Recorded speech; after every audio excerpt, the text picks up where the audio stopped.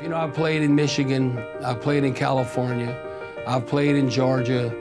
But people are born and raised and they die here, so the Saints are in their blood forever. I mean, when babies are born in our in our state, they get a fleur de lis. They get something with the Saints on it. To be part of the, the legacy of the Saints is, is a very unique experience, a very powerful one. When I was playing for the Saints, I was never just playing for myself or my family. I truly felt like I was playing for the community. When you're a part of this uh, franchise, you're really a part of this organization pretty much for life.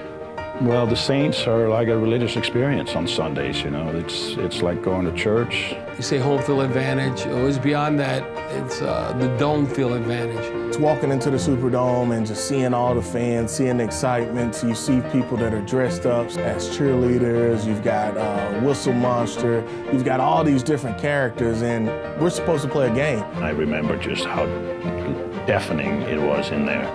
You're just being fed all this incredible uh, energy from the fans, uh, which are the greatest, I think, in the NFL. They're, they've always been there.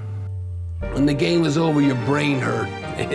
Because you're having to scream, to communicate, but it's all good because you knew you had that dome field advantage. And I always say if the defense kicks butt, they get a sack, get a turnover, uh, the, the, fans go crazy and even louder. Have fans that when they leave that dome, they don't have a voice, and I think that's what the players appreciate so much is how they come, they support this team through the good, through the bad, and it's just been exciting to be a part of it and exciting to be able to watch.